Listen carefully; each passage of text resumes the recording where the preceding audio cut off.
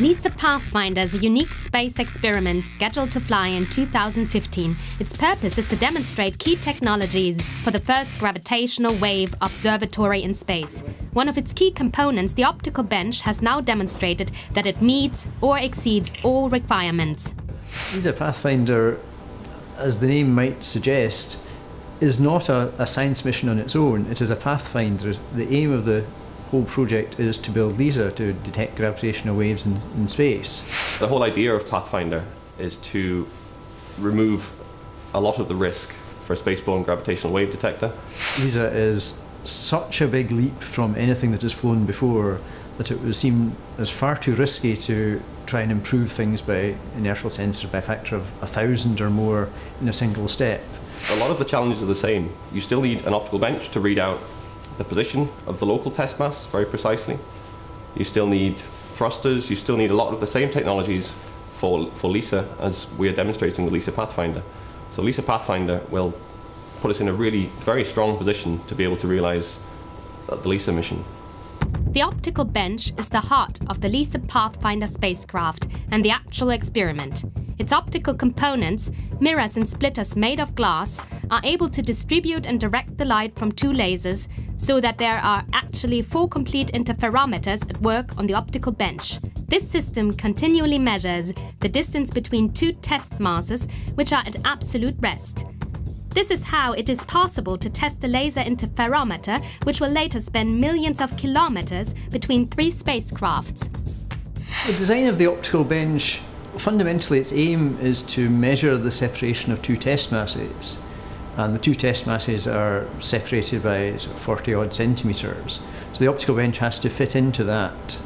And that is your starting point. point, and then you have to go ahead and design an optical system that will fit in there and will perform all the measurements that you need to perform. So the space constraints and the the geometrical constraints essentially of the, the test masses define what you have to work with and then you just have to be clever enough to fit everything in that you need to fit in. Scientists had to develop many things from scratch, from the laser feed to the building techniques used in the optical bench. The precise alignment of the optical components is a technological masterpiece. There's now light on the optical bench. The mirrors and splitters have to be fixed onto the base plate with sub-micrometer tolerances. Components are fixed onto the base plate by a process adapted by the Scottish scientists called silicate bonding. Yeah, they were able to perfect the bonding method by using their own tests, checking the performance of the optical system against how they know it should work. The design of the optical bench was developed by the Institute of Gravitational Research Glasgow, together with the Albert Einstein Institute Hanover.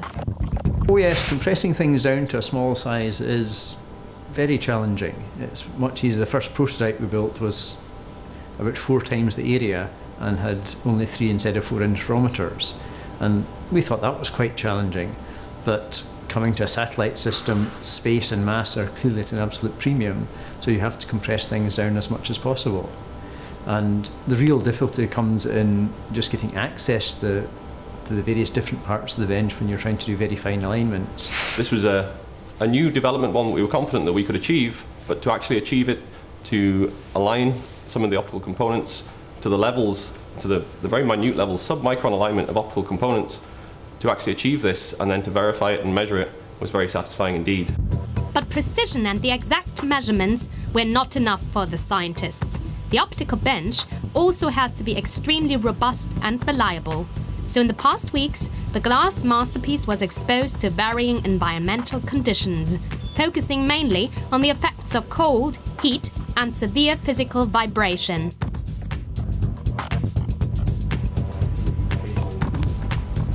Making something robust for a space environment in some ways is, is relatively easy. Once the thing is in space, it's in a very stable environment, thermally there is really is nothing much happening. It's at room temperature and that there is no real change in the temperature.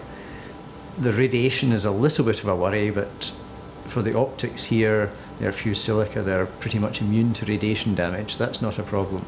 So the real difficulty is building something that's robust enough, frankly, to survive in the rocket on the way up there.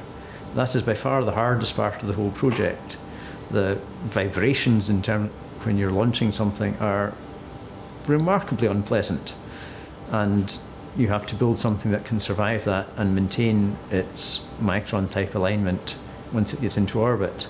So the real challenge is in the, the mechanical design to withstand the first few minutes of its life. After it's got there, it's really quite happy. Tests and simulations made at the University of Glasgow proved that the optical bench and its various components, like mirrors and photodiodes, work as precisely and reliably as expected, and that it will reach its workplace and orbit intact. The optical bench is now ready for the next step the integration into the experiment and the spacecraft LISA Pathfinder.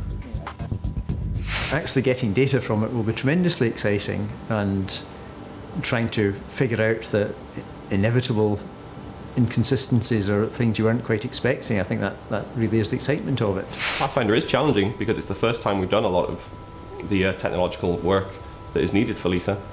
LISA has extra challenges, um, but a lot of the big kind of real unknowns will have been solved by Pathfinder. So the uh, the technologies that we've used in Pathfinder, the vacuum cans and the, the test mass housing, these kind of things, they can all be used directly for LISA. So the uh, LISA Pathfinder mission has been incredibly important for paving the way for, for LISA. The optical bench is a milestone on the road to the space based gravitational wave detector. Scientists at Glasgow have created the world's most precise space flight interferometer.